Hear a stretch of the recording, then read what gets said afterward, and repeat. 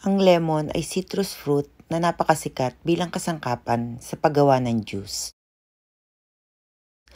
Karamihan sa mga tao ay ginagawang inumin ng lemon sa paghahalo nito sa tubig. Ang mga businessmen ay naging malikhain sa paggawa ng lemon juice.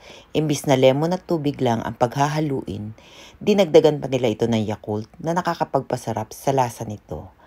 Maliban dito, ang ibang mga kumpanya ay ginagamit ng lemon sa paggawa ng sabon at detergent dahil mayroon itong natural smell na nag-aalis ng mabahong amoy. Pwede rin itong gamitin bilang mosquito repellent dahil sa matapang nitong amoy sa mga insekto. Magagamit din ito bilang flavor scented candles or air freshener dahil sa nakaka-refresh nitong amoy. Ang ibang chefs ay gumagamit din ng lemon bilang sangkap sa recipes nila para maging mas malasa pa ito. Isang halimbawa dito ang lemon roasted chicken. Ang lemon ay ginagamit ding alternatibong sangkap sa ibang citrus fruits, katulad ng orange, pineapple, calamansi at marami pang iba. Masasabi natin na ang lemon ay talaga namang nakatutulong sa ating pang-araw-araw na buhay.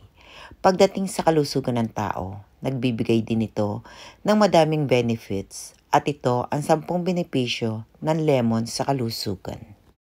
Ang lemon ay nagre-regulate ng high blood pressure, dizziness, nausea. Dahil mayaman ito sa vitamin C, nakakatulong din ito upang mapigilan ang pagkakaroon ng coronary heart disease.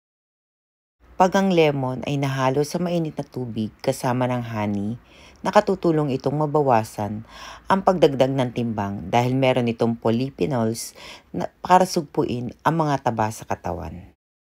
Mataas din itong citric acid content na nakatutulong sa pagpapataas ng urinary citrate levels ng dalawang beses nang hindi pinapalitan ang dami ng ihi. Meron itong antibacterial properties na lumalaban sa problema tungkol sa throat infection. Ang lemon juice ay nagsisilbing blood purifier na pwedeng makagamot sa malarial diseases. Dahil mayaman sa vitamin C na kinakailangan para magbigay ng collagen, ito ay nakatutulong upang maibsan ang asthma. Bilang citrus fruit, ito ay tumutulong mapababa ang risk ng ischemic stroke sa mga babae. Tutulong din ito para makapagpalakas ng immune system laban sa mga germs at bakterya na nagiging dahilan ng cold o flu at iba pang mga sakit. Katutulong ito sa iron deficiency. Karamihan sa populasyon ngayon ay nakararanas ng pagiging anemic. Ang pagtatambal ng mga pagkain na may mataas sa vitamin C at ang mayaman sa iron ay nakatutulong sa pagbilis ng pag-absorb ng mga nutrition sa ating katawan. Ginagamit din bilang dental care sa paglalagay ng lemon juice sa lugar kung saan nakakaramdam ng sakit ng ngipin upang mabawasan ang pananakit nito.